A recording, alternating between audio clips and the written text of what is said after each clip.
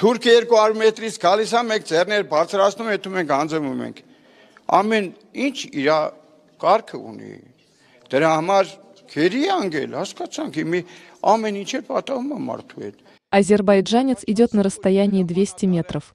Мы поднимаем руки, идем и сдаемся, сказал на брифинге с журналистами депутат парламента от фракции «Гражданский договор» Гагик Мелконян. Народный избранник заявил, что военнопленный должен по возвращении рассказать, как попал в плен, чтобы это не стало повальным явлением. Азербайджанец идет на расстоянии 200 метров.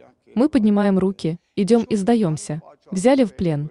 Мы все понимаем, что с человеком может произойти все.